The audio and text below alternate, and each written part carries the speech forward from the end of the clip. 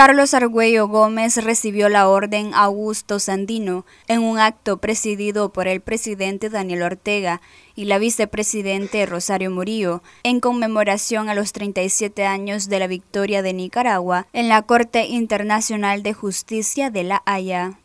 Leyendo formalmente, tengo que decir que para mí es un gran honor recibir esta orden por el trabajo que he hecho desde el campo del derecho en la defensa de la soberanía nacional.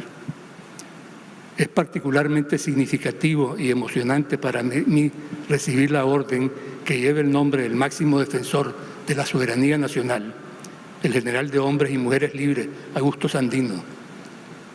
La recibo con mucho orgullo nicaragüense. Quisiera aprovechar estos momentos para recordar las terribles circunstancias que nos llevaron a presentar la demanda ante la Corte Internacional en contra de Estados Unidos y que hoy conmemoramos. Hago este recordatorio especialmente para las nuevas generaciones que no vivieron en carne propia estos acontecimientos y cuyos representantes veo acá en este salón. Las primeras palabras que Nicaragua, en este caso a través de mi persona como agente, las primeras palabras que pronunció ante los 15 jueces de la Corte Internacional de Justicia cuando se inició este caso, las primeras palabras fueron las siguientes.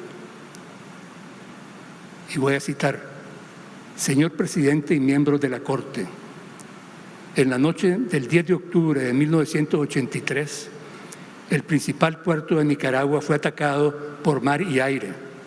Se destruyeron cinco tanques de almacenamiento de petróleo que contenían varios millones de galones de gasolina y diésel que representaban una cantidad sustancial de la reserva de combustible de Nicaragua. 112 habitantes del puerto, incluidos niños y ancianos, resultaron heridos. Toda la ciudadanía portuaria de unas 20.000 personas tuvo que ser evacuada mientras las llamas ardían durante varios días. Bomberos con equipo rudimentario empaparon con agua los tanques de combustible durante días para evitar afortunadamente con éxito una explosión que habría demolido el puerto. A pocos días de este acto salvaje, y sigo citando, que puso en serio peligro la vida de miles de personas, se le preguntó al presidente de los Estados Unidos en una entrevista de prensa si pensaba que este tipo de actividad era justificada. El presidente respondió, creo en el derecho de un país cuando cree que sus intereses están mejor servidos de practicar actividades encubiertas. Carlos Argüello Gómez es graduado en Derecho de la Universidad Centroamericana en el año 1970.